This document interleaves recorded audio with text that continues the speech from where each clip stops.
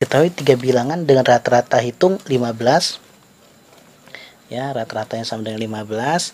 Mediannya itu 15 juga. Terus jangkauannya 10. Ya, jangkauan sama dengan 10. Nah, kita urutin. Anggap aja e, tiga bilangan itu A sama B sama C. Ya, dari terkecil sampai terbesarnya si C. Nah, rata-rata 15. Ini kalau misalnya saya tambahin terus saya bagi tiga, ini jadi rata-rata kan? Ya saya tambahin saya bagi tiga kan jadi rata-rata. Sama dengan 15 rata-ratanya. Gitu.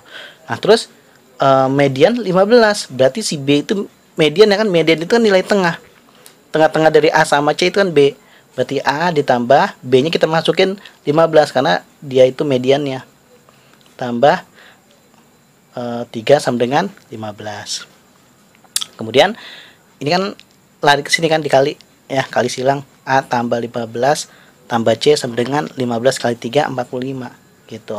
Terus A tambah C. Nah 4, 4 eh, 15 ini ke kanan kan?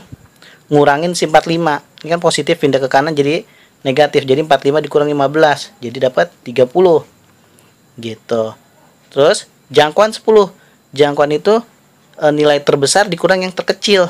Berarti C dikurang A ya kan? Terbesar dikurang terkecil sama dengan 10 gitu. Ini adalah jangkauannya. Nah ini bisa langsung kita eliminasi ini kita kurang. Ya kita kurang berarti ini C dikurang C habis ya. A dikurang min A. Min sama min plus kan? Ya dia jadi 2A berarti 2A 30 dikurang 10 ya 30 dikurang 10 20 berarti A nya itu sama dengan 10 yang ditanya adalah nilai terbesar. Nilai terbesar itu kan si C. Ya. Kan kita tahu nih, A tambah C kan sama dengan 30. A-nya udah 10. Ya, berarti C-nya berapa?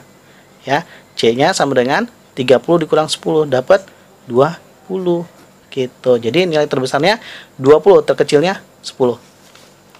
Jadi jawabannya C.